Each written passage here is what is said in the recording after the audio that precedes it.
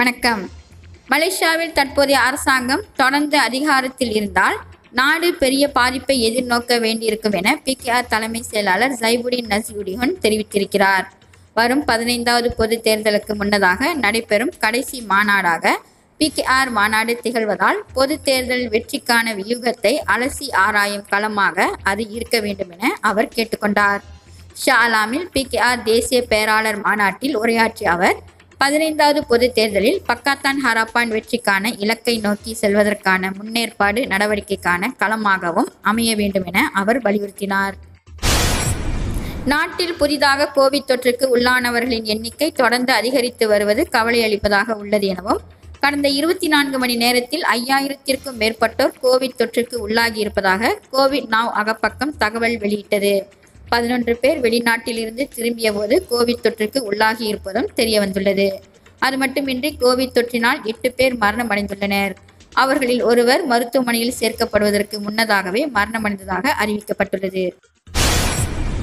தமக்கு எதிரான குற்றச்சாட்டுகளை மீட்டுக் கொண்டால் அரசாங்கத்திற்கு ஒன்று புள்ளி ஐந்து பில்லியன் வெள்ளி தொகை அல்லது நூற்றி ஐம்பது கோடி வெள்ளியினை வழங்குவதற்கு ஜோலோ எனப்படும் லோ தக் ஜோ முன்வந்ததாக தகவல் கசிந்துள்ளது.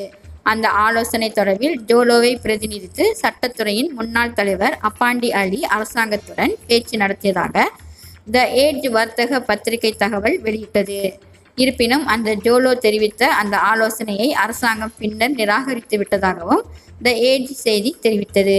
இது தொடர்பாக எழுப்பட்ட கேள்விக்கு அப்பாண்டி அலி பதில் கூற மறுத்துவிட்டதாகவும் அந்த பத்திரிகை தகவல் வெளியிட்டது. நாட்டில் உள்ள மாற்றுத்திறனாளிகளுக்கு உதவும் வகையில் அவர்களுக்கென்று ஏற்பாடு செய்யப்பட்ட கார் நிறுத்தும் இடங்களை தவறாக பயன்படுத்துவோருக்கு எதிராக கூடுதல் அபராதம் விதிக்கப்பட வேண்டும் என மாற்றுத்திறனாளிகளின் அமைப்பின் தலைவர் டத்தோ ராஸ் அடிபா அராட்சி கோரிக்கை விடுத்துள்ளார். தற்போது மாற்றுத்திறனாளிகளின் கார் நிறுத்தும் இடங்களை தவறாக பயன்படுத்தும் வாகன ஓட்டுநர்களுக்கு ஐம்பது வெள்ளி அபராதம் விதிக்கப்படுவது மிகவும் குறைவாக இருக்கிறது. இதனால் அடுத்தடுத்து அவர்கள் தவறு செய்கின்றனர்.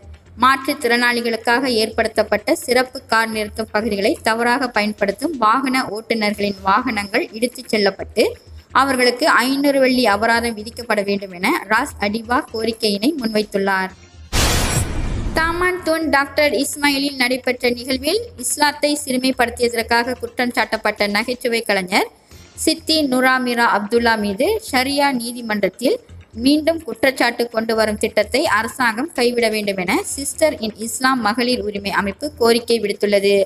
சித்தி நூராமிரா அப்துல்லா மீது ஷரியா நீதிமன்றத்தில் கூட்டரசு பிரதேச சமய மன்றம் மீண்டும் குற்றச்சாட்டை கொண்டு வருவதை அரசாங்கம் தடுக்க வேண்டும் என சிஸ்டர் இன் இஸ்லாம் வலியுறுத்தியது.